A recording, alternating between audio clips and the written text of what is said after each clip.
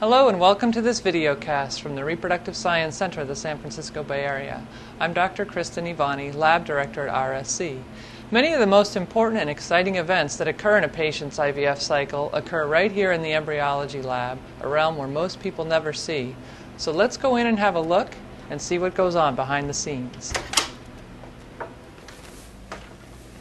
We'll start with the first step of the IVF cycle, the egg retrieval process. The IVF lab is located next to the operating room, where a doctor collects follicular fluid from the ovaries into a tube. The nurse passes this tube containing the follicular aspirate to an embryologist, who then pours the tube into a dish and looks for the eggs under the microscope. After locating the eggs, the embryologist rinses them and places them into a holding dish.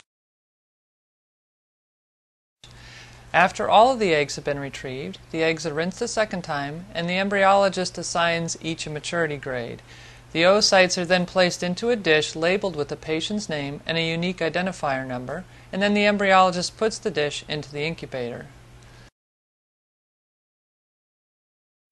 If the couple is using fresh sperm, the male partner goes into a private collection room and collects a sperm sample at the same time the egg retrieval is taking place.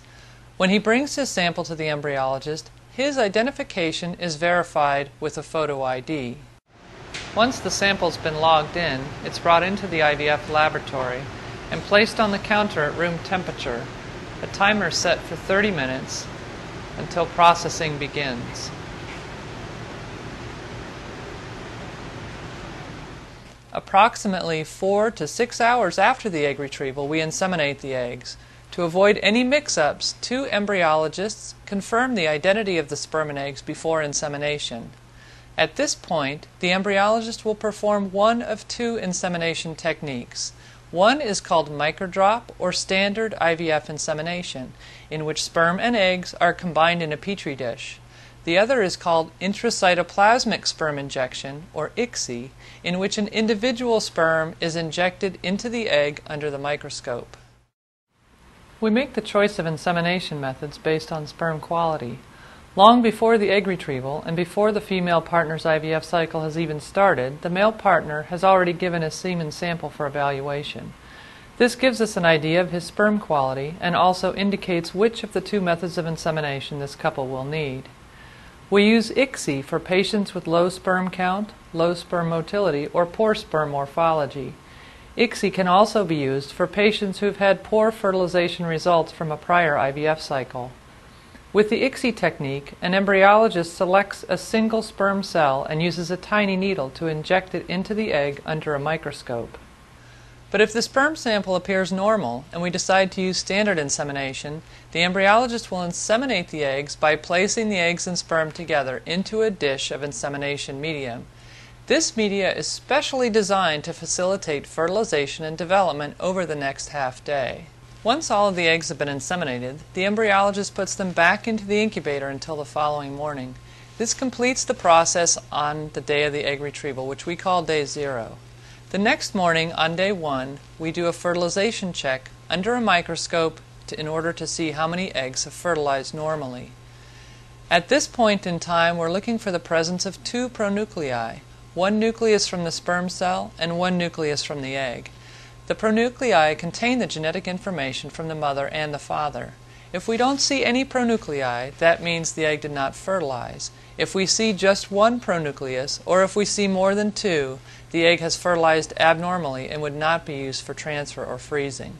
At this point, the embryologists separate out the embryos that have two pronuclei. These embryos are called zygotes, 2PNs, or fertilized eggs terms can be used interchangeably. The embryologist puts these new embryos into a fresh dish of media, media that supports the early stages of embryo development. In most cases, the embryologist doesn't look at the embryos again until the next day, day two. At this point, we're hoping to see that each embryo has four cells. We grade the embryos on a scale of 1 to 5, where 1 is a perfect quality embryo and 5 is a poor quality embryo. Often patients will have a range of embryo quality with some good and some fair quality. Once again, we return the embryos to the incubator because the embryos have a better chance of growing if they're not out of the incubator for extended periods of time. These embryos are being evaluated on the morning of day three.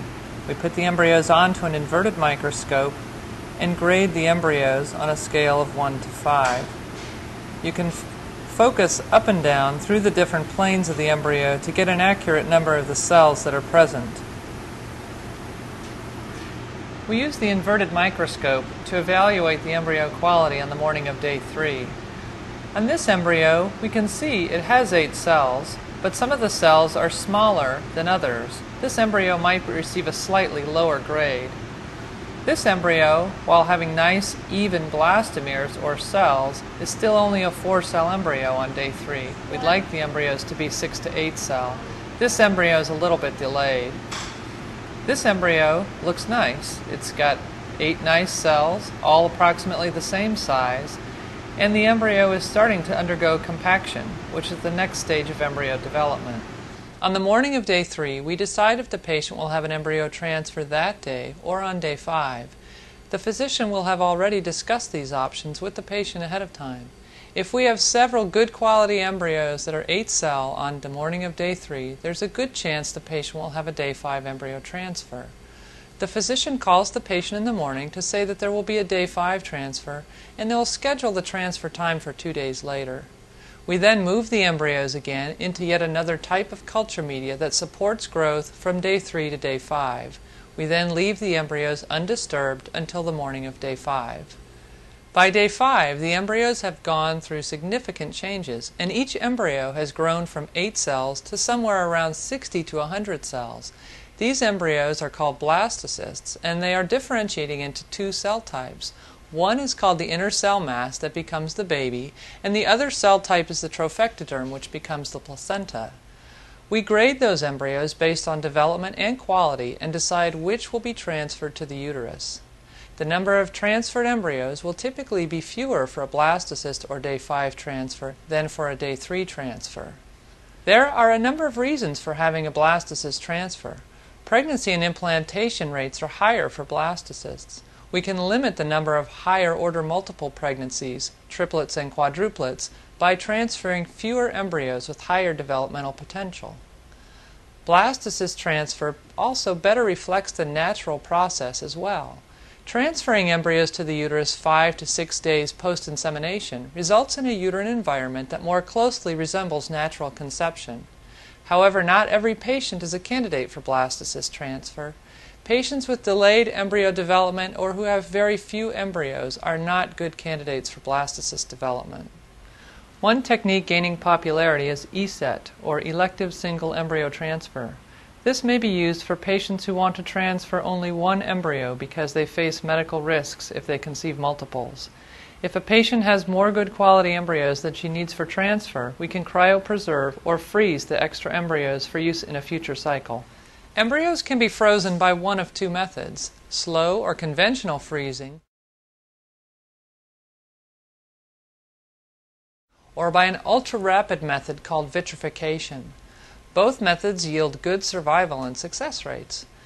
A good cryopreservation program is critical because it allows the patient to limit the number of embryos transferred on either day 3 or at the blastocyst stage because we have confidence that if the fresh cycle was not successful, then the patient still has a good chance at a successful pregnancy using frozen embryos.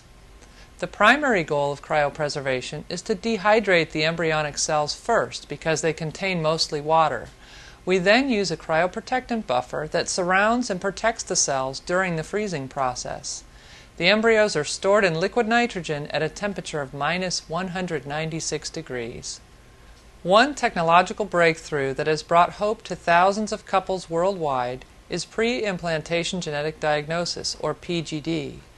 It is a diagnostic test performed on embryos to help detect chromosomal abnormalities or a known genetic disorder. With PGD, a single cell is removed from an embryo and analyzed for a specific anomaly.